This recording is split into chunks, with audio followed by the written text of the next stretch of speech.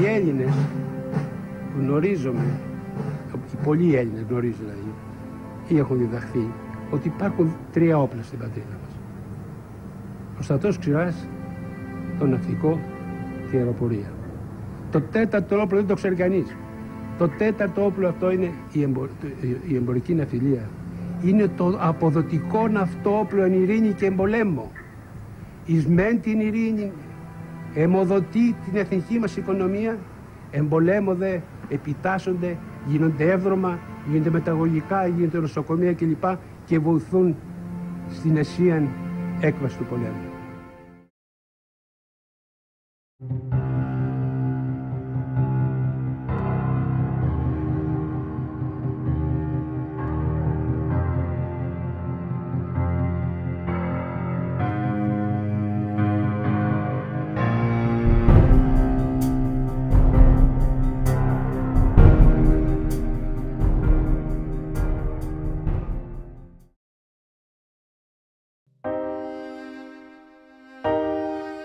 Η ελληνική εμπορική ναυτιλία διένυε μια ακμάζουσα περίοδο κατά τα τέλη της δεκαετίας του 30. Παρά το γεγονός ότι απόλυσε τα δύο τρίτα περίπου του στόλου της κατά τη διάρκεια του Πρώτου Παγκοσμίου Πολέμου και στη συνέχεια στις αρχές της δεκαετίας του 30 οδηγήθηκε σε ύφεση λόγω της παγκόσμιας οικονομικής κρίσης, η ελληνική εμπορική ναυτιλία κατόρθωσε όχι μόνο να αυξήσει τα κέρδη της κατά την περίοδο αυτή, αλλά και να επεκταθεί σημαντικά έτσι ώστε η Ελλάδα να κατατάσσεται ανάμεσα στις 10 κορυφαίες ναυτικές χώρες παγκοσμίως. Η Ελλάδα διέθετε εμπορικό στόλο που έπλεε σε όλο τον κόσμο. Η εξέλιξή του υπήρξε ραγδαία χάρη στην αυτοσύνη των Ελλήνων, ιδιαίτερα των προερχομένων από τα νησιά Ήδρα, Σπέτσες, Ψαρά, Χίος, Κάσος, Άνδρος, Κεφαλαιονιά και άλλα. Εκτός της ορθής πολιτικής που ακολούθησαν οι ελληνικές εφοπλιστικές εταιρείες, κατανέμοντας τις δραστηριότητές τους μεταξύ των δύο άκρο σημαντικών διεθνών εμπορικών κέντρων του Πειραιά και του Λονδίνου, κατάφεραν επιπλέον μέσω των διευκολύνσεων στις στρατηγικές αγοράς και πώλησης πλοίων, καθώς και του αποκαλούμενου MRS, Minimum Rate Scheme, να εκμεταλλευτούν τις εμπορικές και εφοπλιστικές διεθνείς συγκυρίες, φτάνοντας στην επιθυμητή και προσδοκόμενη επιτυχία. Συνολικά, υπολογίζεται ότι υπήρχαν 600 ατμοκίνητα ποντοπόρα κυρίως φορτηγά και 700 μικρά πετρελαιοκίνητα και λοιπά πλοιάρια. Το 1938, έναν χρόνο πριν την έναρξη του Δευτέρου Παγκοσμίου Πολέμου, η ελληνόκτητη εμπορική ναυτιλία βρισκόταν στην τρίτη θέση της παγκόσμιας κλίμακας μετά την Αγγλία και την Νορβηγία, έχοντας στο στόλο της ενταγμένα 638 πλοία συνολικού τονάζ 1.900.000 χώρων ολικής χωρητικότητας. Τα περισσότερα από τα πλοία αυτά ήταν φορτηγά, αποτελώντας το 96% του δυναμικού της. Τα περισσότερα πλοία ήταν παλαιάς τεχνολογίας, φορτηγά με καύσιμο το κάρβουνο, διέθεταν στοιχειώδη όργανα ναυσιπλοείας και οι συνθήκες διαβιώσεως του πληρώματος ήταν χωρίς ανέσεις, με περιορισμένη σύντηση και πολύ χαμηλές αποδοχές. Οι ελληνόκτητες εφοπλιστικές και εμπορικές εταιρείες δεν είχαν εξαπλώσει τις δραστηριότητές τους μόνο στον Πειραιά και στο Λονδίνο, αλλά και σε όλα σχεδόν τα σημαντικά διεθνή εμπορικά κέντρα της Ευρώπης, από τη Μαύρη Θάλασσα έως και την Βαλτική. Οι εταιρείες αυτές ανήκαν κυρίως σε εφοπλιστικές οικογένειες και οι λειτουργικοί τους μηχανισμοί ήταν συνήθως στελεχωμένοι από μέλη των οικογενειών αυτών, τα οποία αντιμετώπιζαν το εμπόριο και τις σχέσεις εργασίας πρωτίστως σαν μια οικογενειακή υπόθεση. Οι ιδιαίτερες αυτές, από ισχυρά οικογενειακά συμφέροντα, κυριαρχούμενες σχέσεις εργασίας, είχαν καλλιεργήσει μια εργασιακή ηθική την οποία δεν ήταν σε θέση να συναγωνιστούν οι ευρωπαϊκές εφοπλιστικές εταιρείες, με αποτέλεσμα να καταστεί η ελληνόκτητη εμπορική ναυτιλία εργασιακά ασυναγώνιστη, αποκτώντας ταυτόχρονα ένα μείζον οικονομικό εύρος.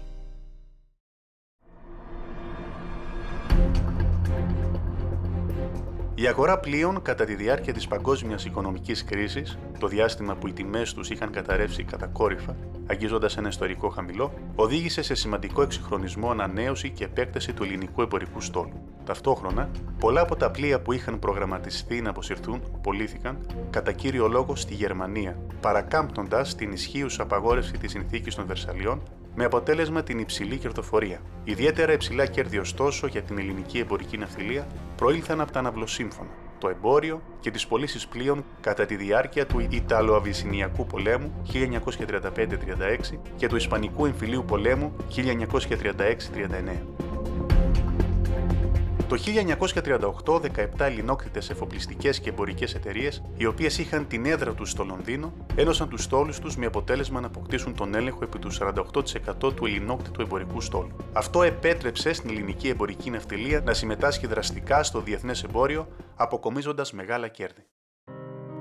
Το 1935 οι ελληνόκτητες ναυτιλιακές εταιρείες του Λονδίνου, έχοντας στην κατοχή τους τον δεύτερο σε παγκόσμια κλίμακα σημαντικότερο στόλο φορτηγών πλοίων, εισήγαγαν και καθιέρωσαν σε συνεργασία με τις βρετανικές εφοπλιστικές εταιρείες του City το αποκαλούμενο σχέδιο ελάχιστου ναύλου ευρύτερα γνωστό σαν MRS, Minimum Rate Scheme. Επρόκειτο για ένα σχέδιο το οποίο είχε σκοπό τον καθορισμό και τη ρύθμιση του ελάχιστου ορίου ναύλου των φορτηγών πλοίων, επιβάλλοντας ταυτόχρονα ένα άτυπο νέο μισθολόγιο το οποίο εμπεριείχε σημαντικές περικοπές στους μισθούς των αυτεργατών. Μετά την εφαρμογή του MRS στις 14 Φεβρουαρίου 1935 και την άμεση αποδοχή του από την Νορβηγία, την Ολλανδία, την Γαλλία και την Ιταλία, το σχέδιο ελάχιστου ναύλου έγινε διεθνώς αποδεκτό, παραμένοντας σε ισχύ μέχρι και τις αρχές του Δευτέρου Παγκοσμίου Πολέμου. Η καθιέρωση του MRS οδήγησε στο να αποφευχθεί μια περαιτέρω μείωση των μεταφορικών ναύλων των φορτηγών πλοίων όλων των εθνικών εμπορικών στόλων κατά τη διάρκεια της ιδιαίτερα σκληρής οικονομικής κρίσης της δεκαετίας του 30. Αμέσως μετά την έναρξη του Ελληνοϊταλικού πολέμου, την 28η Οκτωβρίου 1940, ένα μεγάλο μέρος του ελληνικού εμπορικού στόλου επιτάχθηκε από την ελληνική κυβέρνηση και χρησιμοποιήθηκε για την κάλυψη των αναγκών του πολέμου μέχρι και τον Απρίλιο του 1941. Επιπλέον, ένα μεγάλο μέρος των πλοίων του ελληνόκτητου εμπορικού στόλου, πρωτίστως με ελληνικά πληρώματα, είχε ήδη ναυλωθεί αμέσως μετά την έναρξη του Δευτέρου Παγκοσμίου Πολέμου από τη Βρετανική κυβέρνηση και είχε ενταχθεί στις συμμαχικές νιοπομπές του Ατλαντικού, μεταφέροντας τη Βρετανική Βρετανική νήσο τα απαραίτητα για την ύπαρξή της αγαθά. Τα περισσότερα από τα πλοία αυτά και τα πληρώματά τους δεν επέστρεψαν ποτέ. Αξίζει να σημειωθεί ότι οι πρώτες βυθίσεις πλοίων του ελληνικού εμπορικού ναυτικού συνέβησαν ε, στο λιμένα της Γδίνια της Πολωνίας όπου βυθίστηκε το φορτηγό Ιωάννης Καράς στις 3 ε, Σεπτεμβρίου του 1939 και το φορτηγό Κωστής που έπλε στη θάλασσα τη Βαλτική.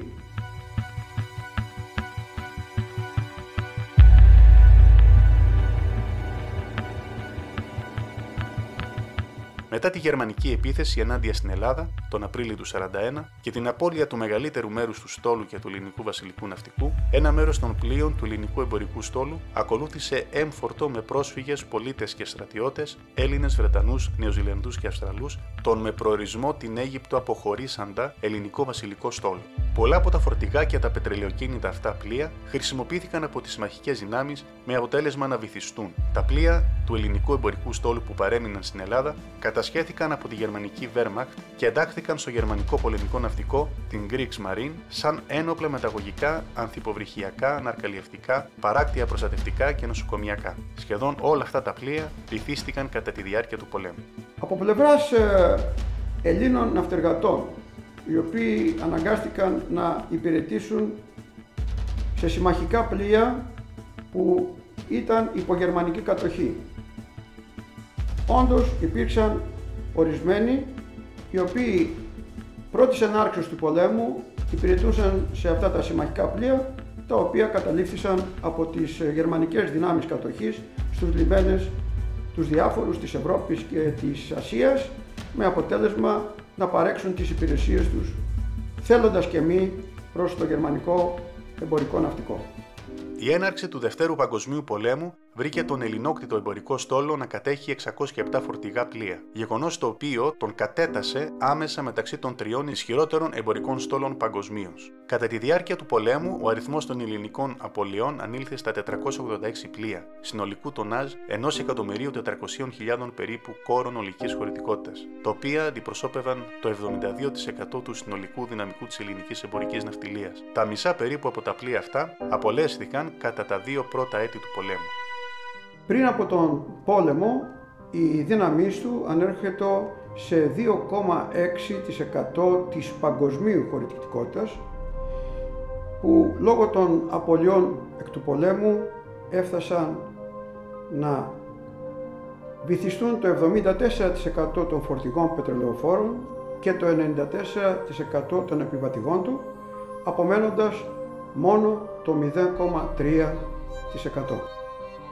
Από τους 19.000 ναυτεργάτες των ελληνικών πληρωμάτων, οι οποίοι εργάζονταν σε όλα τα μήκη και τα πλάτη της γης, 4.000 περίπου έχασαν τη ζωή τους κατά τη διάρκεια του πολέμου, κυρίως λόγω των βυθίσεων από τορπιλισμούς. Από αυτούς που κατάφεραν να επιζήσουν, 2.500 επέστρεψαν ως ανάπηροι, ενώ άλλοι 200 επέστρεψαν με βαριές και ανεπανόρθωτες ψυχικές βλάβες λόγω των βάναυσων εμπειριών που έζησαν ως ναυαγοί ή ως εχμάλωτοι.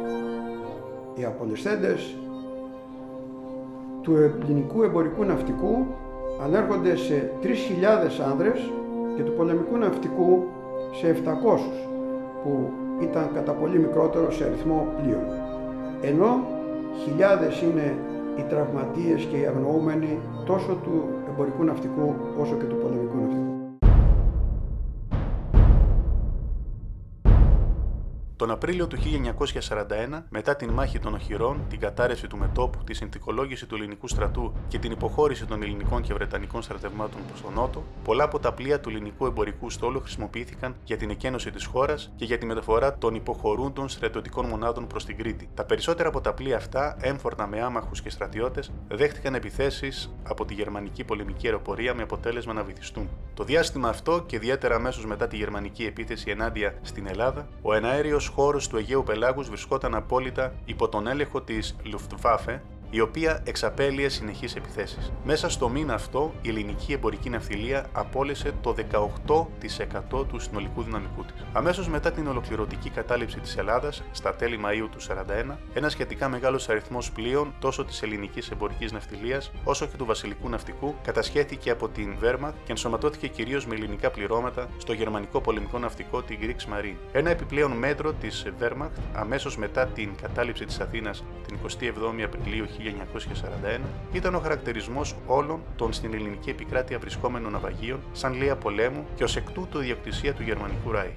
Υπό την υποπτία του γερμανικού πολεμικού ναυτικού ιδρύθηκαν εταιρείες, οι οποίες σε συνεργασία με ελληνικές ναυαγιερεσιακέ εταιρείες όπως την Βερνίκος Μάτσας, επιδόθηκαν στην ανέλκυση όλων των σε προσβάσιμο βάθος βρισκόμενων ναυαγίων, τα οποία στη συνέχεια επισκέβασαν και ενέταξαν σχεδόν πάντα με ελληνικό πλήρωμα στο δυναμικό της Greeks Marine. Τα περισσότερα από τα πλοία αυτά προέρχονταν από τον ελληνικό εμπορικό στόλο και συμμετείχαν μέχρι το τέλος του πολέμου σε πολλά μέτωπα, με αποτέλεσμα να βυθιστούν τα περισσότερα από αυτά μαζί με τα πληρώματά τους από τους συμμάχους.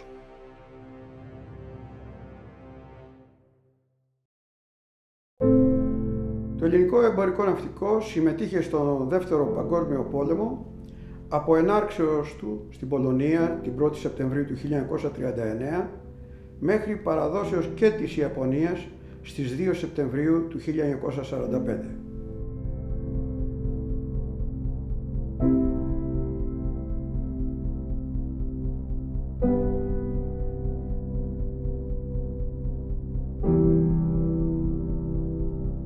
Στην πρώτη αυτή φάση του πολέμου, πολλά από τα πλοία του ελληνικού εμπορικού στόλου με ελληνικά πληρώματα, τα οποία είχαν αυλωθεί από τους συμμάχους, βυθίστηκαν στον Ατλαντικό ωκεανό κυρίως από γερμανικά υποβρύχια. Κάποια άλλα κατασχέθηκαν σε λιμάνια τα οποία ελέγχονταν από τις δυνάμεις του άξονα και των σύμμαχών τους. Στην περίοδο αυτή συμπεριλαμβάνονται επίσης και οι απώλειες οι οποίες προήλθαν από μυστικές εχθρικές ενέργειες, όπως η βύθιση του ελληνικού 7ου Έλλη από το Ιταλικό υποβρύχιο Δελφίνο στο λιμάνι της Τίνου στις 15 Αυγούστου του 1940. Κάποιες ακόμη απώλειες της περίοδου αυτής οφείλονται σε ναυτικά ατυχήματα. Οι συνολικές απώλειες των ελληνόκτητων πλοίων κατά την πρώτη αυτή φάση του πολέμου ανήλθαν σε 368.000 κόρους ολικής χωρητικότητας.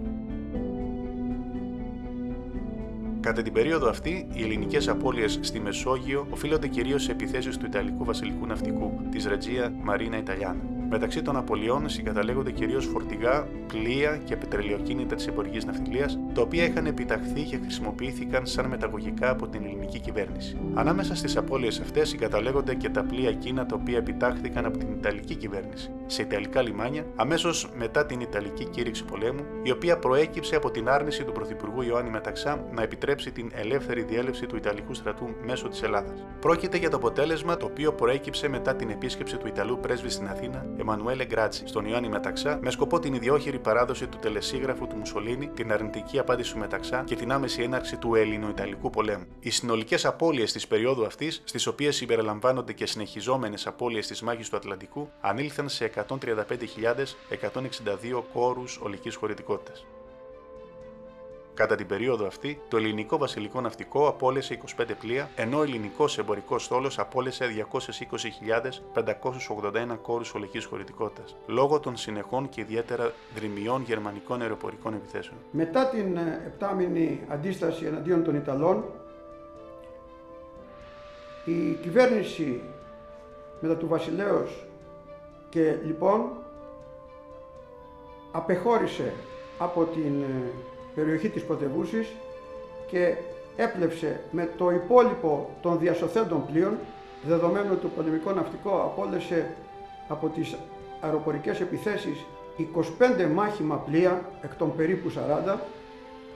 Έτσι λοιπόν τόσο ο βασιλεύς όσο και η κυβέρνηση μαζί με το χρυσό εκ της τραπέζης Ελλάδος για τη διάσωσή του επέβησαν των υπολείπων πλοίων και μετέβησαν αρχικώς στην Κρήτη και στη συνέχεια στην Αίγυπτο όπου ε, παρέμειναν στο πλευρό των συμμάχων πολεμώντας καθ' όλη τη διάρκεια του Δευτέρου Παγκοσμίου Πολέμου. Κύριος στόχος της γερμανικής πολεμικής αεροπορίας, της Luftwaffe, υπήρξε ο Πειραιάς, το σημαντικότερο ελληνικό λιμάνι. Υπέστη μια τρομακτική επίθεση στις 6 Απριλίου του 1941 από τη γερμανική αεροπορία και οι καταστροφές ήταν τεράστιες λόγω πλήξεως εντός του λιμένος ενός αγγλικού φορτηγού ονόματι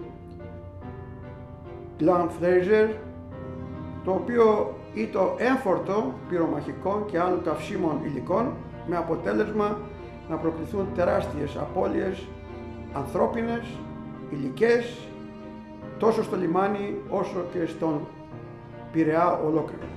Ultimi episodi della battaglia di Grecia. L'aviazione dell'asse all'attacco. Stormi di bombardieri martellano le vie della ritirata britannica e centrano le navi da trasporto ancorate lungo il litorale ellenico.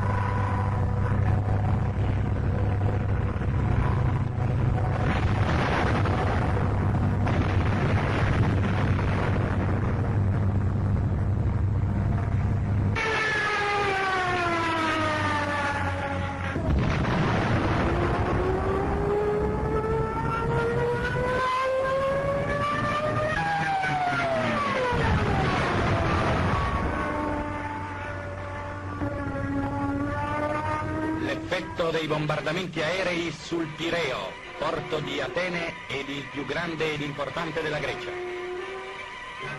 Ciò che resta di una nave britannica da trasporto di 18.000 tonnellate e di tante altre di medio e grande tonnellaggio.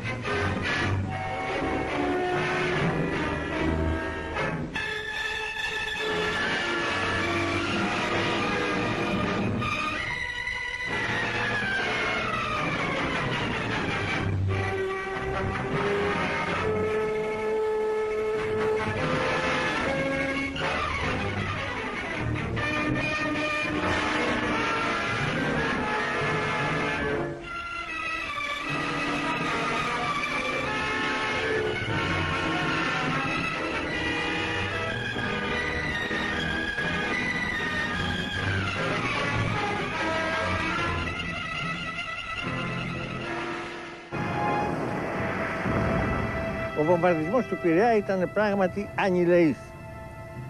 Ε, οι βόμβες η μία διαδέχεται την άλλη και το καταφύγιο και τη πρώτη ποιότητας καταφύγιο συνεκρονίζεται από τις εκρήξεις των βομβών. Κάποια στιγμή η Επιτροπή, η Επιτροπή Γερμανική τελείωσε και μας έδωσε άδεια να απομακρυνθούμε και να πάμε πλέον στους θαλάμους μας για να κοιμηθούμε. Ήταν δύο η ώρα το βράδυ, δεν μπορώ να θυμηθώ ακριβώς. Ε, στην κατάσταση αυτή κατακλείσουμε, όπως το λένε στο ναυτικό, και για μια στιγμή, δεν θα, δεν θα έχει περάσει καμιά ώρα, ακούστηκε μια τρομερή έκρηξη. Ακριβώς απέναντι από τη σχολή, στα σιλό του Πειραιά, ήταν ένα μεγάλο φορτηγό πλοίο, το οποίο ε, έφερνε πυρομαχικά και υλικά για την κατασκευή βομβών και ναρκών για το πυρητοπείο. Θυμάμαι πολύ καλά στο κρεβάτι που κοιμόμουν σχολή, τα παντζούρια μαζί με την κάσα στο σύνολο ξεκολλήσανε και ήρθαν και πέσανε πάνω από το κρεβάτι μου ευτυχώς να πούμε κατά τρόπο γερτό και έτσι την γλίτωσα. Εβγήκαμε έξω και είδαμε ένα πειραιά φλεγόμενο. Και εκείνο το οποίο αντικρίσαμε ήταν ένα απέραντο πλήθος με ό,τι είχε και δεν είχε. Καλή ώρα πρόσφυγες του Ιράκ γιατί να πούμε, να τρέπονται προσφυγήν προς πάσαν κατεύθυνση μακριά από το φλεγόμενο και κατά διαστήματα να πούμε εκρηγνιόμενο Πειραιά.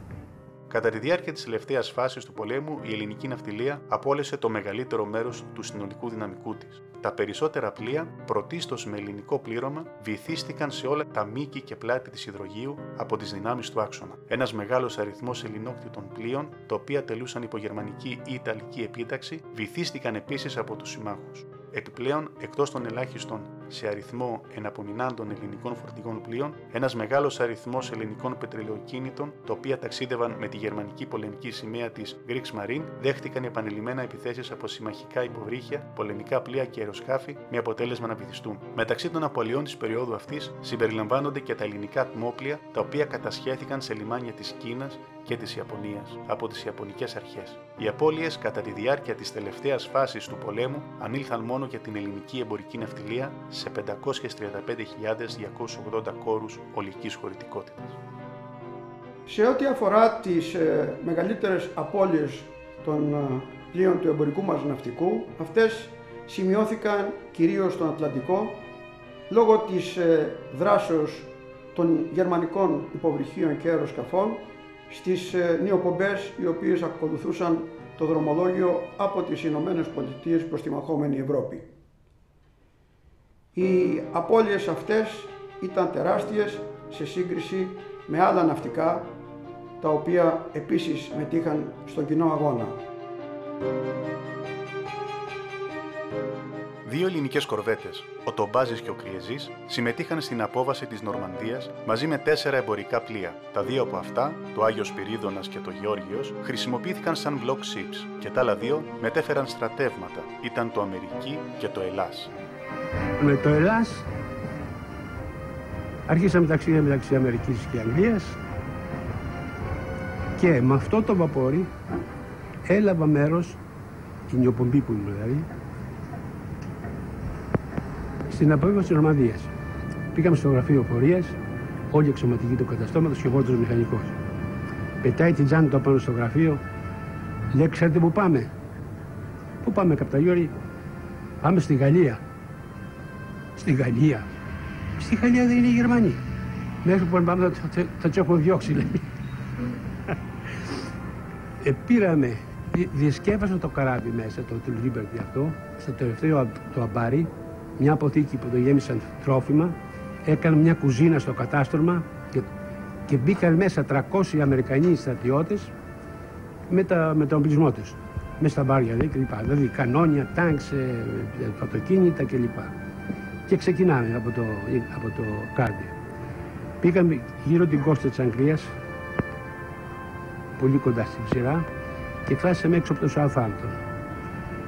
Έξω από το Southampton ε, συνενωθήκαμε με, μια, με άλλα πολλά καράβια, περίπου 45 διαφόρων εθνικοτήτων και αρχίσαμε την πορεία μας για, για τη Ρωμανδία.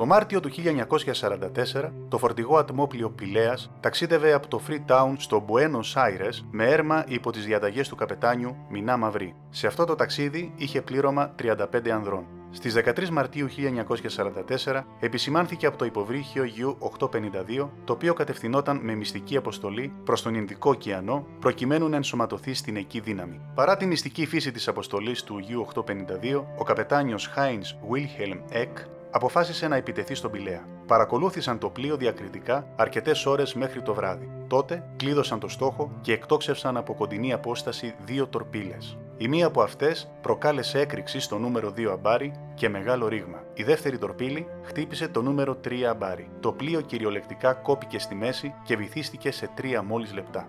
Οι μισοί από το πλήρωμα κατάφεραν και επιβιβάστηκαν σε σωσύμβιους λέμβους. Ο Γερμανός καπετάνιος του υποβρυχίου πήρε δύο ναυαγούς για ανάκριση τον Άγιο Κεφαλά, τρίτο αξιωματικό, και τον Πιέρ Νόημα. μέλος του πληρώματος. Μόλις κατέγραψαν τα στοιχεία τους, τους επέστρεψε στη σχεδία τους. Ο Γερμανός καπετάνιος δεν σταμάτησε όμως μόνο εκεί. Προκειμένου να κρατήσει μυστική την αποστολή του, κατέστρεψε ό,τι είχε απομείνει από το τραγικό ναυάγιο, συμπεριλαμβανομένων και των σωσιβίων σχεδιών. Και επί πέντε ώρες το γερμανικό υποβρύχιο U-852 κινήθηκε γύρω από το πεδίο συντριμιών και πυροβολούσαν και έριχναν χειροβομβίδες σε ό,τι έβλεπαν να επιπλέει. Τέσσερα από τα μέλη του πληρώματος κατόρθωσαν να διασωθούν. Ένας από αυτούς, ο Κεφαλάς, πέθανε αργότερα από μία πληγή στο χέρι του που είχε προκληθεί από τους πυροβολισμούς. Το γερμανικό υποβρύχιο U-852 βυθίστηκε στις ακτές της Σομαλίας στις 3 Μαου 1944, όταν προσάραξε κατά τη διάρκεια μιας επίθεσης που δέχτηκε από αεροπλάνα Wellington. Αποτέλεσμα της αεροπορικής επίθεσης ήταν 7 νεκροί και 59 επιζώντες. Το πλήρωμα συνελήφθη από Βρετανούς, που κατόρθωσαν να βρουν το ημερολόγιο του υποβρυχίου, το οποίο είχαν ξεχάσει να καταστρέψουν. Από αυτό έγινε γνωστή η υπόθεση του Πηλέα. Ο Εκ και οι αξιωματικοί του δικάστηκαν στην Ιρεμβέργη ως εγκληματίες πολέμου. Τρεις καταδικάστηκαν σε θάνατο, ενώ άλλοι δύο αθώθηκαν. Στις 30 Νοεμβρίου του 1945, ο Χάινς Βίλχελμ Εκ εκτελέστηκε στο Αμβούργο με δύο από τους αξιωματικούς του, τον August Hoffman, υποπλήρχο, και τον Walter Weiss Finning, γιατρό του υποβρυχίου, για το ρόλο τους στην υπόθεση Πηλαία. Είναι η μόνη επίσημη περίπτωση καταδίκης για εγκλήματα πολέμου στη θάλασσα στο Δεύτερο Παγκόσμιο Πόλεμο. Από πλευράς στηρίσεως των διεθνών κανόνων στη θάλασσα, οι Γερμανοί δεν ετήρησαν αυτές και μόνο σε ελάχιστες περιπτώσεις ακολούθησαν η διάσωση ναυαγών. Στις περισσότερες περιπτώσεις τα πλοία ευηθίζονται και επολυβολούνται ακόμα και οι ναυαγοί. Το πλοίο Νικόλαος Κουλουκουντής το οποίο υπό την πλειαρχία του Κωνσταντίνου Πανόριου επέτυχε παρά τους κινδύνους και τις δυσκολίες να εισέλθει στις 2 Φεβρουαρίου του 1943 στο λιμένα της Λιβύης και να εκφορτώσει πολύτιμα καύσιμα για το 8ο Βρετανικό στράτευμα που πολεμούσε στη Βόρεια Αφρική. Ο Βρετανός Πρωθυπουργός Winston Churchill επισκέφθηκε το πλοίο στις 4 Φεβρουαρίου του 1943 και το συνεχάρει προσωπικά. Το φορτικό Ελπής, υπό την πλειαρχία του Νικόλαου Κουβαλιά, πλησίασε υπό σφοδρότατο βομβαρδισμό τη Λιβύη και εκφόρτωσε καύσιμα για τα Βρετανικά στρατεύματα, αποσύροντας τις επιδοκιμασίες του βασιλιά της Αγγλίας. Στις ε, επιδόσεις των Ελλήνων ναυτικών θα πρέπει να αναφερθεί το κατόρθωμα, γιατί περί κατορθώματος επρόκειτο, του ανεφοδιασμού των μαχωμένων στρατευμάτων στο μέτωπο της Βορείου Αφρικής, όπου από τη δράση των υποβρυχίων και των αεροσκαφών, των γερμανικών υποβρυχίων και αεροσκαφών. Οι απώλειες ήταν τεράστιες και η μεταφορά φορτίων, κυρίως καυσίμων, αλλά και άλλων πολεμοφοδίων ήταν αδύνατος σχεδόν, με αποτέλεσμα να, να διακινδυνεύουν τα στρατεύματα αυτή τους την ύπαρξη. Έτσι λοιπόν, εύσημα απεδόθησαν από τον ίδιο τον Winston Churchill σε εμπορικά μας πλοία που κατόρθωσαν να φτάσουν στη Λιβύη και αυτά ήταν το Διαμαντής Πατέρας, το Πιλεύς, το Ελπής και ο Κλουκουντής και με αυτόν τον τρόπο να ανεφοδιάσουν τις μαχόμενες δυνάμεις σε κρίσιμες ώρες, κάτι το οποίο αποτέλεσε την αιτία ο Πρωθυπουργός Winston Churchill να ανέλθει επί ενός των πλοίων στο Κουλκουντής και να συγχαρεί αυτοπροσώπως τους πλοιάρχους και τα πληρώματα για τα κατορθώματά τους. Απεφασίστη η ίδρυση ναυπηγείων Σκαραμαγκά ώστε να μπορεί η, η ελληνική κυβέρνηση η πατρίδα μας να απελευθερωθεί κάπως από το, το άγχος της παραγγελίας ε, στο εξωτερικό το οποίο να πει πολλά έξοδα, πολύ συνάλλαγμα και όλα τα σχετικά. Τα ναυπηγεία ήρθαν τους Καραμαγκά, ήρθαν το 1937 κατά τον Μάιο Ιούνιο και επιτελέσαμε ένα έργο τιτάνιων όπως απεκλήθη όχι από εμάς, από εκείνους που ήρθαν να το δουν και να μας συγχαρούν.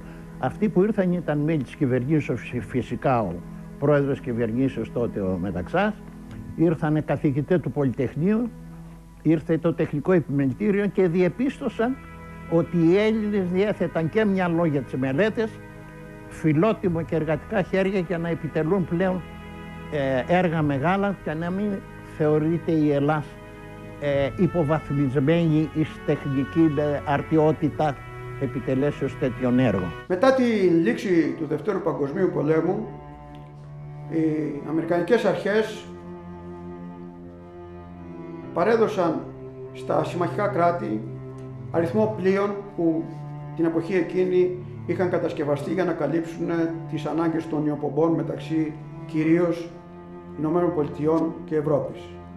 Έτσι, εδόθησαν ε, προς τους Έλληνας εφοπλιστάς, οι οποίοι είχαν χάσει, όπως προανέφερα, ίσως το 90% των πλοίων τους, 85 Liberty με συνθήκες ευνοϊκής παραχωρήσεως αγοράς και 15 Liberties, φορτηγά πλοία της εποχής εκείνης, ως ε, δωρεά για τα πλοία εκείνα τα οποία είχαν βυθίσει οι ίδιοι Αμερικανοί από διάφορες αιτίες κατά τη διάρκεια του πολέμου.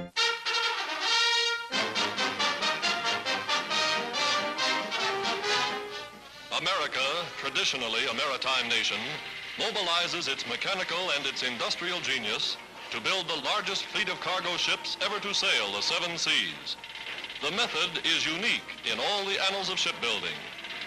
Ordering prefabricated ready-made parts from some 500 factories scattered throughout the country, the yards apply mass production technique, and the results are breaking all records. Average time to build a ship during the First World War, 11 months. Record time, seven and one half months. Now they're completing them in 46 days.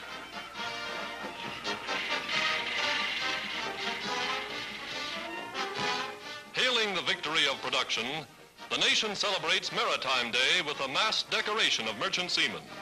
In New York, Mayor LaGuardia awards medals to men who have been victims of Axis submarines off the Atlantic coast. There's no downing the spirits of these brave sailormen. Torpedoed two and three times, they're ready to sail again.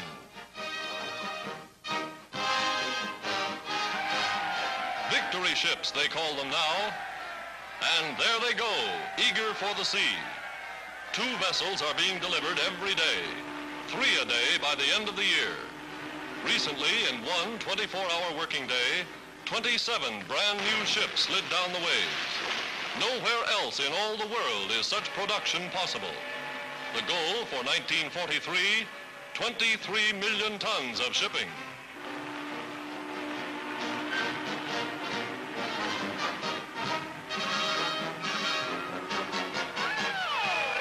No sooner is one launched than they swing a new keel into place for another. Not a minute is wasted.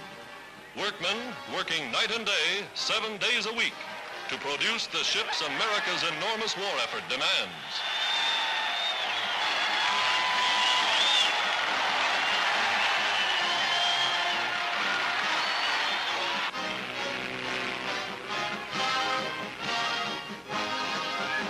Το κακό ήταν ότι συμμαχικά, γιατί να μην το πούμε, είναι και επίκαιρο, αμερικανικά αεροπλάνα εμφοβάρδισαν τα ναυπηγεία ενώ διαφαίνεται το η, η, η επικειμένη απελευθέρωση της Ευρώπης φυσικά και της Ελλάδος τον Απρίλιο του 1944 εμφοβαρδίσαν από Αμερικά από Αμερικάνικα και σχεδόν κατεστράφησαν στην επιδομή όλοι απάνω για λόγους οικονομικούς για να αναγκαστεί η Ελλάδα η οποία προσέφερε τον εμπορικό της στόλο και με μεγάλες θυσίες να αναγκαστεί να πάρει με κάποιους όρους τα περσέβοντα liberties τα οποία να φυγούν το τότε δια τις ανάγκες του πολέμου. Δεδομένου ότι ο Σταύρος Νιάρχος ήταν ένας εκ των μεγάλων εφοπλιστών της εποχής και από αυτούς που συμμετείχαν στις επιχειρήσεις εντασσόμενος αρχικά στο Βρετανικό ναυτικό και στη συνέχεια στο Ελληνικό πολεμικό ναυτικό ε, παραχωρήθηκαν τα ναυπηγεία Σκαραμαγκά τα οποία μετονόμασε σε ελληνικά ναυπηγεία το 1956 σε πολύ καλούς όρους, μάλιστα για την ε, ύπαρξη αυτών των ναυπηγείων προκειμένου να αποτελέσουν μια σημαντική πηγή εσόδων για την πατρίδα μας, το κράτος παρεχώρησε στον Ιάρχο ως δώρο ένα μικρό νησάκι δίπλα από τις Πέτσες, ονόματι Πετσοπούλα, που έμεινε στην ιστορία ως ένας τόπος ε, διαμονής μεγάλων προσωπικότητων που εκαλούνται από τον Σταύρο Νιάρχο. Τα ναυπηγεία αυτά αξίζει να τονιστεί ότι έδωσαν μεγάλη όθηση στην οικονομία μας, απασχολούνται 5.500-6.000 ε, εργαζόμενους, φτάσανε στο σημείο εκτός των επισκευών πάσης φύσεως πλοίων να κατασκευάζουν και έναν πετυχημένο τύπο φορτηγού πλοίου, το περίφημα SD-14, φορτηγά μεσαίου μεγέθους και άλλα πολλά. Το, τη δεκαετία του 80 υπήρξαν ορισμένες κρίσεις από απόψεως οικονομίας και το 85, το 1985 τα ναυπηγεία περιήλθαν στο κράτος. Ebenfalls mit höchstem Todesmut kämpfte. Er kapitulierte erst, als der weitere Widerstand unmöglich und damit zwecklos war.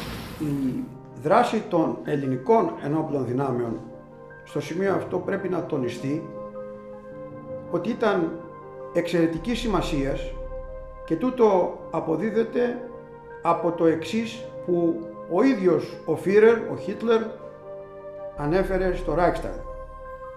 Χάρη της ιστορικής αληθείας, οφείλω να διαπιστώσω ότι μόνο οι Έλληνες εξ όλων των αντιπάλων οι οποίοι με αντιμετώπισαν, επολέμησαν με παράτολμο θάρρος και υψίστην περιφρόνηση προς τον θάνατο. Αυτά τα εύσημα θεωρώ ότι ανήκουν και στους χιλιάδες ναυτεργάτες μας που έδρασαν κατά τη διάρκεια του Δευτέρου Παγκοσμίου Πολέμου.